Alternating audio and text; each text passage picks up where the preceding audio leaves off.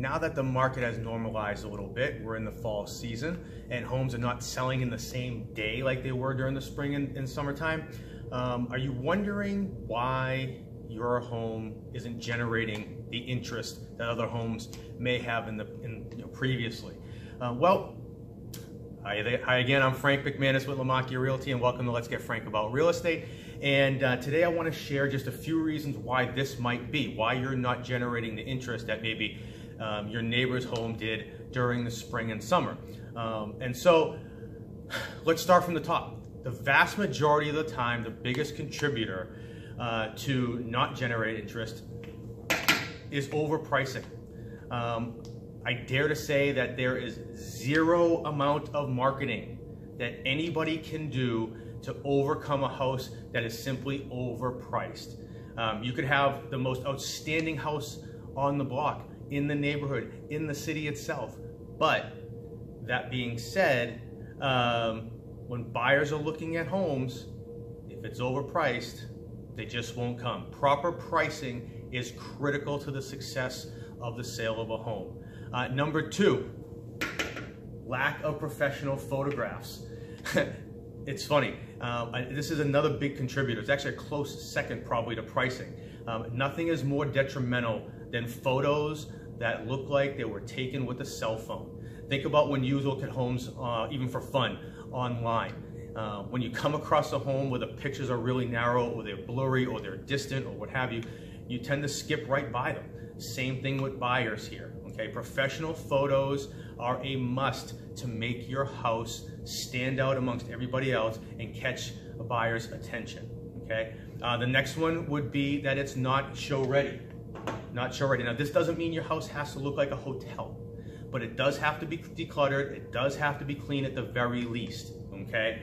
Um, but uh, just like overpricing, just like marketing can't help overpricing, professional photos can't help a house that doesn't present itself well. Okay, Pro, you know, professional photography, professional photography can only do so much. But if your house isn't decluttered, if it isn't clean, if it doesn't look show ready, professional pictures may not be the may not be able to help you as much as you would you would hope or think.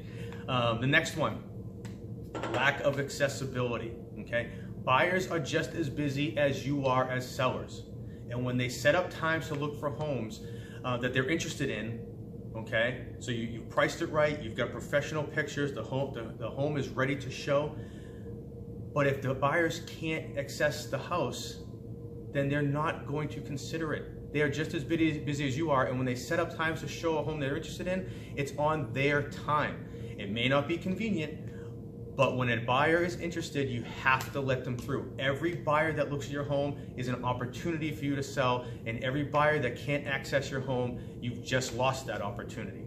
Um, lastly, um, there's probably more that we could talk about, but in this case, lastly, we're not out of the woods yet either. Okay, realtors are still on, are on the hot seat just as much as these other ones, but you may have hired the wrong person to sell your home. Okay, um, a great agent will likely help you avoid all the pitfalls that we just spoke about. Okay, so that being said, um, they are going to help you price it right. They are going to market the hell out of that house. They are going to hire professional photography to make it look its best. They're going to help you get the house show ready. So make sure you are hiring someone based on their ability to accomplish all these things and not someone who uh, is going to tell you what you want to hear, uh, tell you they're going to list the house at the highest price just to make you happy to get the listing, um, and, uh, and, and do whatever they need to do just to simply get your business. Hire somebody on their merits. Hire somebody that is going to be frank with you, no pun intended, about what your home value is based on the market and the inventory and the season that you're in.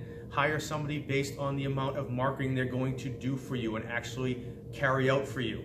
Hire somebody that is going to help you um, with a, a proper scheduling to help you with having buyers get access to your home.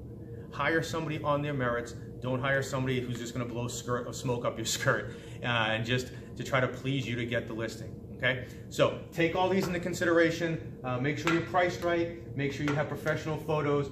make sure your home is, is clean and decluttered, make sure it's accessible, and make sure you're hiring the right person to do the job. I hope these tips help you. Uh, maybe it'll help clarify why you're not generating interest or why you can generate more interest going forward. Until next time, have a great day.